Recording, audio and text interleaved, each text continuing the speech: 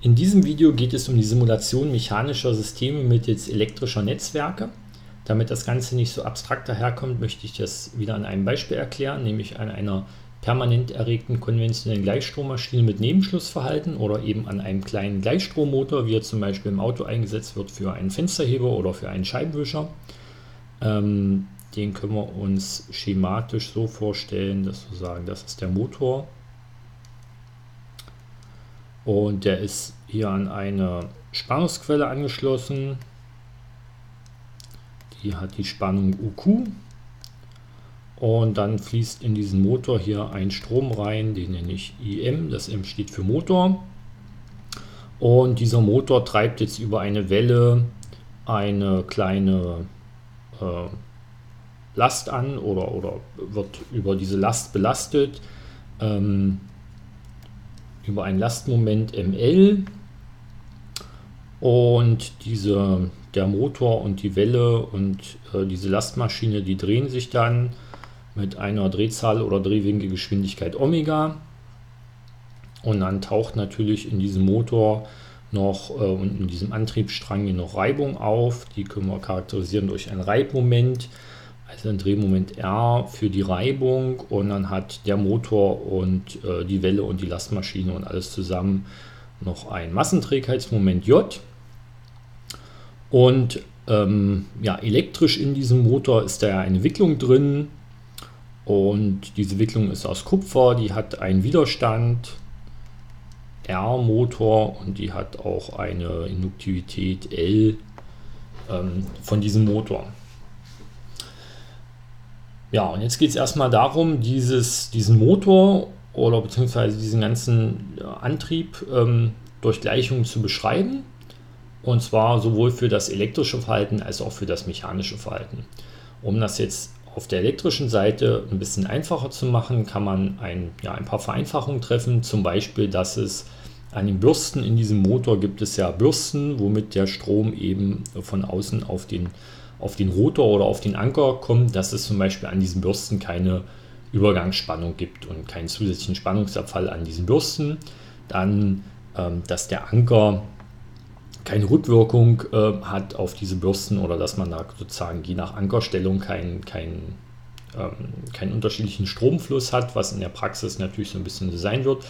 Und wir nehmen auch noch an, dass diese Induktivität hier äh, linear ist und nie in Sättigung gerät. So, und unter diesen Voraussetzungen kann man das elektrische Verhalten erstmal ganz einfach als Maschensatz hinschreiben, dass diese Spannung von der Quelle genauso groß sein muss wie der Spannungsabfall über dem Wicklungswiderstand ähm, des Ankers oder des Rotors und der Spannungsabfall über der Induktivität, die sich eben aus der zeitlichen Ableitung dieses Stromes durch den Motor ergibt. Und dann taucht in dem Motor noch eine sogenannte elektromotorische Gegenkraft auf. Ähm, ja, das ist auch eine Spannung in diesem Maschensatz und das EMK steht halt für elektromotorische Kraft. So, und diese elektromotorische Kraft kommt daher, dass der Motor wenn er sich dreht, eben auch gleichzeitig immer wie ein Generator wirkt. Also ähm, in dem Motor wird eine Spannung induziert, die der ursprünglichen Quellspannung entgegenwirkt und die diesen Strom begrenzt. Und wenn der Motor zum Beispiel stillsteht, weil er blockiert ist, dann taucht diese elektromotorische Gegenkraft nicht auf und dann gibt es eben keine Gegenspannung zu der Quellspannung und das führt dann dazu, dass der Strom zum Beispiel ähm, in dem Motor eben nur noch durch diesen Wicklungswiderstand begrenzt wird und sehr groß werden kann ähm, so dass der Motor dann eben thermisch sehr schnell belastet und überlastet wird. So, diese elektromotorische Gegenkraft, die lässt sich jetzt berechnen aus einer Maschinenkonstante C und aus einem oder aus dem Erregerfluss. Äh, dieser Erregerfluss ist aber auch eine Konstante so dass man dieses C-Phi äh, eben als eine Konstante zusammenfassen kann und dann ist diese elektromotorische Gegenkraft proportional zur Drehzahl. Ja, also wie schon gesagt, wenn desto größer die Drehzahl ist, desto mehr Spannung wird dort induziert, desto mehr Spannung wirkt dieser Quellspannung entgegen. So, und jetzt müsste man noch für das mechanische Verhalten eine Gleichung aufstellen. Die kann man zum Beispiel als Drehmomentbilanz aufstellen. Ähm, als Vereinfachung nehmen wir da mal an, dass es in diesem Antriebsstrang keine Elastizitäten gibt. Also dass der Motor ähm, und die Welle und diese Belastung hier ganz starr miteinander gekoppelt sind. Und wir nehmen auch mal an, dass hier kein Getriebe und nichts dazwischen ist, sodass diese Drehzahlen hier alle die gleichen sind oder dass das Übersetzungsverhältnis eben einfach 1 ist. So, und dann kann man sehr einfach eine Drehmomentbilanz aufstellen. Also das Drehmoment, das vom Motor erzeugt wird, das muss genauso groß sein wie das Drehmoment, was hier durch Reibung auftritt, ähm, plus das Drehmoment, was durch dieses Massenträgheitsmoment hervorgerufen wird. Und das ist, ergibt sich eben aus der Änderung, aus der Ableitung der äh, Drehwinkelgeschwindigkeit, also die sozusagen proportional zur Beschleunigung ist. Und dann muss der Motor noch dieses Lastmoment dort überwinden. So, das ist das mechanische Verhalten. Und dieses Drehmoment, was jetzt vom Motor erzeugt wird, das schreibe ich mal noch hier mit hin, das hängt jetzt wiederum von Strom ab, der durch den Motor fließt. Und zwar auch von dieser ähm, Maschinenkonstante C Phi mal den Strom, der durch den Motor fließt. Ja, und so ergibt sozusagen der Strom durch den Motor, der hier oben in der Gleichung auftaucht, über diese Gleichung ergibt das Moment. Und das Moment ist dann hier in der unteren Gleichung mit der Drehzahl oder Drehwinkelgeschwindigkeit verknüpft und die ergibt dann eben die elektromotorische Genkraft, die wiederum in dieser Gleichung hier oben wirksam wird.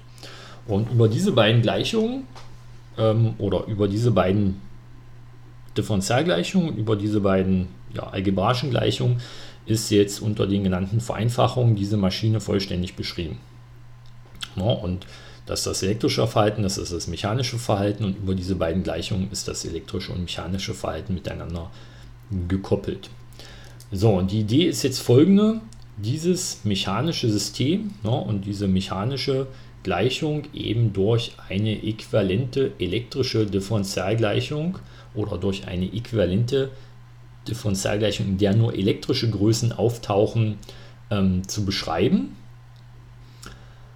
Und wenn wir dann eben ein äquivalentes Differentialgleichungssystem gefunden haben, ähm, in dem nur elektrische Größen auftauchen, dann können wir das natürlich auch durch ein äquivalentes elektrisches Netzwerk oder durch ein äquivalentes elektrisches Ersatzschaltbild darstellen. Und das hat ein paar Vorteile, zumindest dann, wenn man Elektrotechniker ist, weil dann kann man eben alle möglichen Lösungsverfahren und Lösungsmethoden, die man zur Berechnung und zur Simulation von elektrischen Netzwerken kennt, natürlich auch für dieses mechanische System nutzen. Und man kann vor allem auch sehr schön mechanische und elektrische Systeme miteinander koppeln oder diese Kopplung betrachten. Und man kann dann natürlich eben auch jegliche Software benutzen, die es zur Simulation elektrischer Netzwerke gibt, wie zum Beispiel, wie zum Beispiel Spice. Ähm, das Ganze hat natürlich auch ein paar Nachteile, auf die werde ich vielleicht nachher noch eingehen, wenn ich es bis dahin nicht vergessen habe. Aber ähm, der Vorteil ist erstmal, dass wir jetzt dann ein mechanisches System auch in Spice unterbringen können. So, was muss man dazu tun? Man muss natürlich irgendwie diese mechanische Gleichung in irgendwas äquivalentes elektrisches umwandeln. Bevor wir das jetzt machen, machen wir mal noch eine Vereinfachung oder eine Änderung. Wir nehmen mal dieses relativ abstrakte Reibmoment hier weg und schreiben dafür hin, dass das, das als Reibung jetzt hier mal nur eine viskose Reibung auftauchen soll oder auftreten soll. Und eine viskose Reibung ist eine Reibung, die proportional zur Drehzahl ist. Ähm, also wir haben ein eine Reibungskonstante, die nenne ich mal W, ähm, V für Viskose und dann mal die Dreh Drehzahl oder Drehwinkelgeschwindigkeit. Ähm, und diese Reibungskonstante hat dann die Einheit Newtonmeter pro Radiant äh, durch Sekunde und multipliziert mit den Radiant mal Sekunde von der Drehwinkelgeschwindigkeit, kürzen sich die Radiant pro Sekunde weg, sodass hier eben auch ähm, als Einheit Newtonmeter überbleibt. So, und jetzt möchte man eben diese mechanische Gleichung hier ähm, und natürlich auch irgendwie diese beiden Gleichungen, in denen hier etwas Mechanisches auftaucht, durch äquivalente elektrische Gleichungen nachbilden. Und naja, jetzt kann man halt hier so ein bisschen scharf drauf schauen und feststellen, das, was hier unten steht, ähm, das sieht ja eigentlich irgendwie schon fast genauso aus wie da oben. Also es gibt ähm, hier eine Größe, dann gibt es hier eine Multiplikation, dann gibt es hier eine Multiplikation und eine Ableitung, hinten gibt es halt einfach mal so eine Größe. Das heißt, wir können, ich mache hier mal einen Strich drunter, also das hier ist erstmal das normale mechanische Verhalten vorbei. Und diese Gleichung hier, die könnten wir jetzt auch als ein Maschensatz zum Beispiel interpretieren. Indem wir sagen, aus dem Drehmoment wird eine Spannung, aus der Drehzahl oder Drehwinkelgeschwindigkeit wird ein Strom. Dann wird aus diesem äh, Widerstands, ähm, aus dieser Reibungskonstante ähm, wird, wird ein Widerstand. Aus dem Massenträgheitsmoment wird eine Induktivität, weil hier die Ableitung des Stromes dann steht und so weiter. Und aus dem Lastmoment wird auch einfach eine Spannung. So, also das heißt, hieraus wird eine Spannung. Ich schreibe jetzt mal halt nicht U für diese Spannung hin, sondern H. Warum ich da H hinschreibe, erkläre ich gleich später noch. Aber das ist eine Spannung. Eine Spannung, die proportional zu dem Moment ist oder die für dieses Moment steht. Dann, ähm, wie gesagt, ist das hier ein Strom, ein Strom, der proportional zur Drehzahl ist, denn deswegen nenne ich die Idee.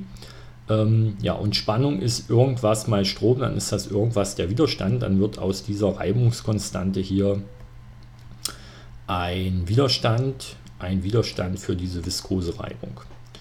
So, aus dem Massenträgheitsmoment wird ein, eine Induktivität, eine Induktivität, die für diese Trägheit steht. Aus der Ableitung wird die Ableitung dieses Drehzahl proportionalen Stromes und aus dem Lastmoment hier hinten wird eine Spannung, ähm, ja, die eben dieses Lastmoment charakterisiert. Also das L hier steht jetzt halt für Last.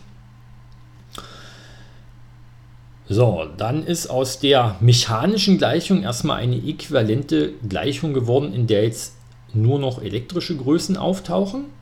Ähm, und jetzt muss man mal über diese beiden Gleichungen hier oben noch nachdenken, die für diese Kopplung zuständig sind. Hier taucht ja schon was Elektrisches auf. Das UEMK ist ja schon eine Spannung. So, und aus, dem, aus der Drehwinkelgeschwindigkeit haben wir jetzt hier einen Strom gemacht.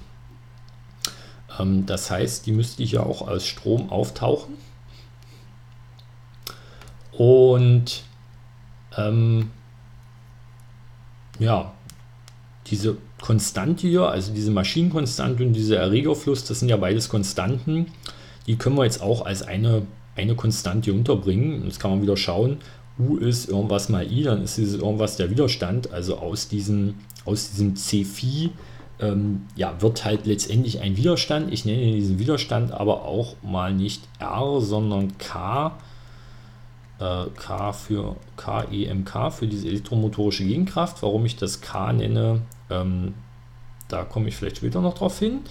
Und genau dasselbe können wir jetzt hier für diese Gleichung machen. Also das I-Motor ist ja eine mechanische Größe, äh, eine elektrische Größe schon. Das C-Phi ist sozusagen ja genau das gleiche C-Phi wie hier. Deswegen nenne ich das mal auch gleich ähm, K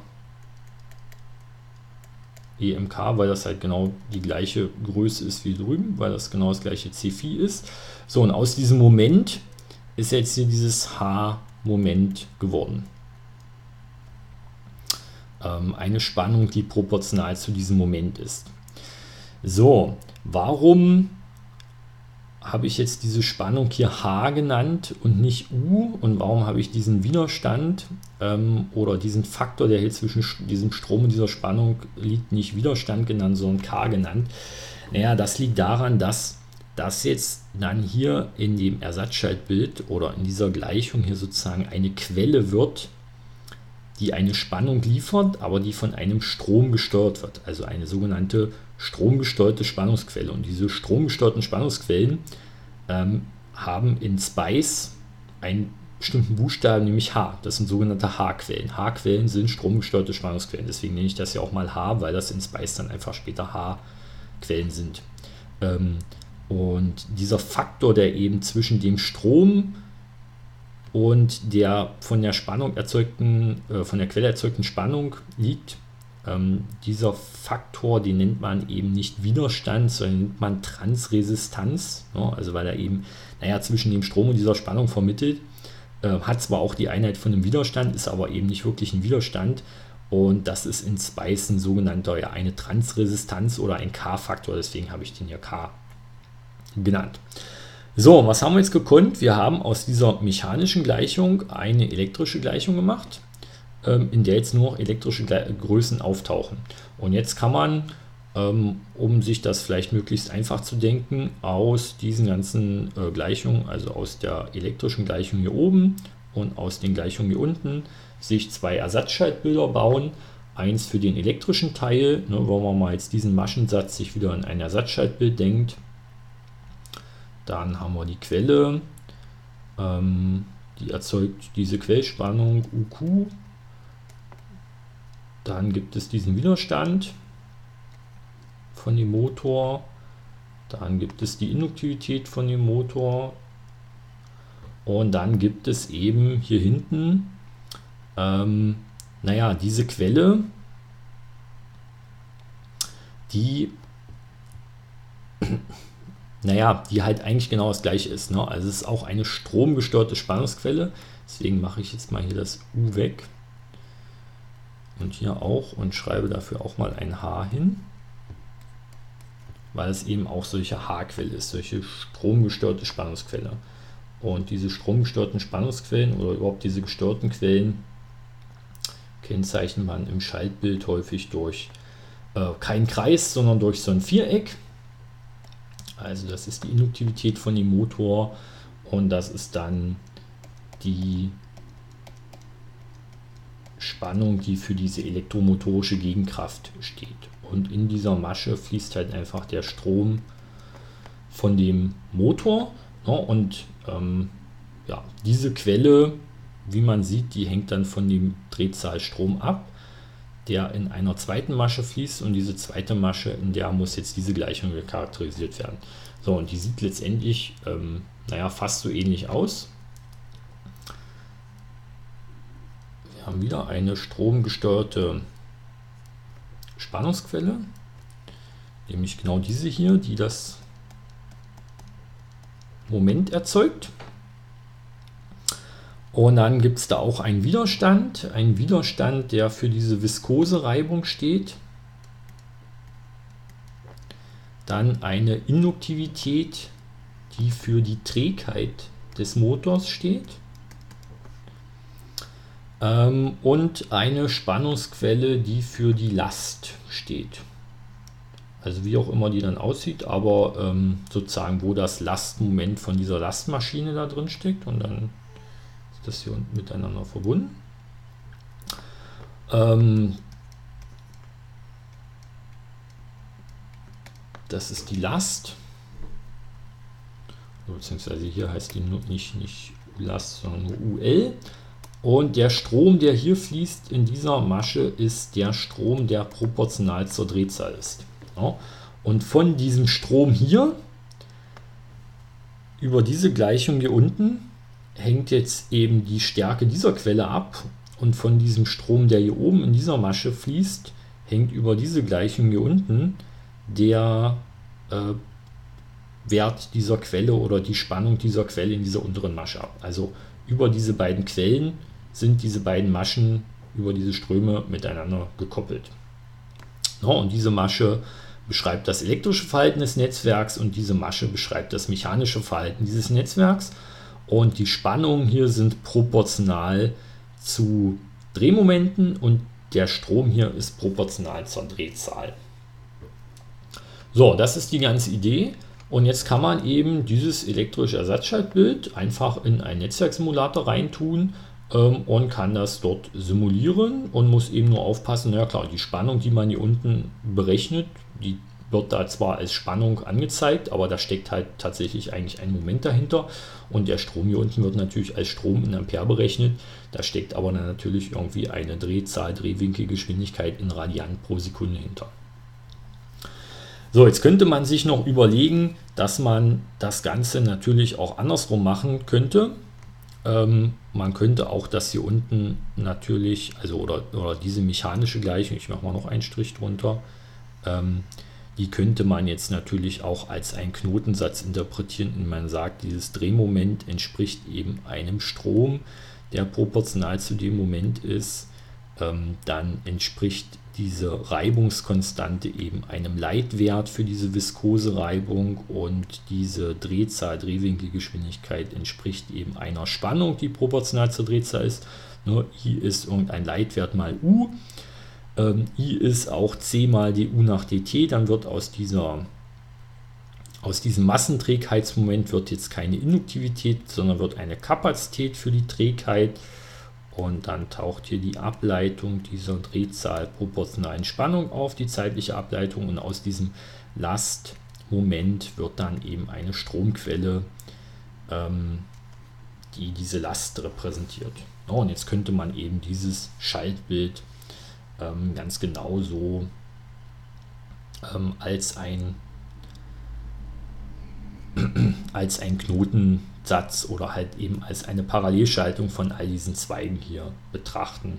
Ähm, das lasse ich jetzt aber mal weg, zeichne ich nicht hin, ähm, weil das vielleicht eher verwirrend ist. Wir nutzen diese erste Variante und schreiben das hier eben als zwei solche Maschen auf oder zwei elektrische Schaltbilder auf. So, der Vorteil ist jetzt, wie gesagt, wir können dieses gesamte mechanische System durch äquivalente elektrische Größen beschreiben und können das alles mit einem Netzwerkberechnungsverfahren unserer Wahl oder mit einem Netzwerksimulationsprogramm unserer Wahl simulieren. Ähm, das ist der Vorteil. Das Ganze hat natürlich auch ein paar Nachteile. Die will ich jetzt vielleicht doch noch nennen. Die Sache ist, so ein Schaltungssimulator, also zum Beispiel Spice, hat halt dann letztendlich doch einen relativ begrenzten um Funktionsumfang. Also der kennt halt nur elektrische Größen. Man kann die mechanischen durch was äquivalentes elektrisches nachbauen, aber ähm, man sollte da halt keine Wunder erwarten. Genauso, es ist halt relativ schwierig oder zumindest umständlich, ähm, dann irgendwelche konstanten Variablen äh, und, und Funktionsgleichungen zu definieren. Das bekommt man hin, indem man halt so nicht linear gesteuerte Quellen nimmt. Also zum Beispiel, wenn man jetzt eine Reibung betrachten möchte, die zum Beispiel in einem Wasser auftritt oder in einer Wasserpumpe auftritt, dann ist die eben nicht proportional zur Drehzahl, sondern proportional zur Drehzahl zum Quadrat. Ähm, na, dann gibt es eben kein Bauelement, wo steht U ist R mal I Quadrat. Ähm, also weil das dann natürlich irgendwie sowas wie eine Leistung wäre. Also muss man sich halt eine Quelle oder irgendwas überlegen, wo kriegt man diese Abhängigkeit ähm, hin, dass da eben was mit dem Quadrat auftaucht. Das kriegt man hin, ist aber nicht so ganz intuitiv. Ähm, genauso ist, wenn die mechanischen Systeme eben irgendeine Nichtlinearität aufweisen und was auch relativ schwierig ist, ist so eine, eine, eine Zustandsmaschine nachzubilden. Also irgendeine Maschine, die verschiedene Zustände einnehmen kann. Ähm, meinetwegen, man man, man pumpt irgendwas und der Tank ist halt einmal leer oder der ist einmal voll und je nachdem passiert halt irgendwie was anderes. Also solche Fallunterscheidungen da reinzubauen, das ist dann, wenn man diese ganze Simulation eben ähm, statt in einem Netzwerksimulator meinetwegen halt in MATLAB macht und sich da selber eine Lösung dieser, ähm, dieser Differentialgleichung hier in MATLAB programmiert, ist man natürlich irgendwie viel, viel freier, was die Möglichkeiten angeht. Aber es ist auch natürlich trotzdem von Anfang an komplizierter. Und das hier ähm, in einem Netzwerksimulator nachzubauen, das ist doch relativ einfach äh, und das, da kommt man dann schnell zu Ergebnissen. So, der nächste Punkt, also damit soll dieses Video eigentlich erstmal vorbei sein. Der nächste Punkt ist sich jetzt zu überlegen, jedes Modell ist natürlich nur so gut wie die Parameter, die hier drin stecken. Und die Parameter, die hier drin stecken, sind dieser Widerstand und die Induktivität auf der elektrischen Seite und dieses Reibungs, diese Reibungskonstante und die Massenträgheit auf dieser mechanischen Seite und letztendlich dieser Faktor, ähm, dieses K hier, das diese beiden Sachen miteinander koppelt. Und jetzt kann man sich und muss man sich eben noch überlegen, wie kriege ich für, ein, ähm, für eine gegebene Maschine oder für einen gegebenen Motor diese Parametrierung hin. Also wie kriege ich alle diese Konstanten bestimmt, sodass das Modell dann auch tatsächlich das tut, was die reale Maschine tut und das Verhalten der realen Maschine abbildet. Das zeige ich aber in einem weiteren Video.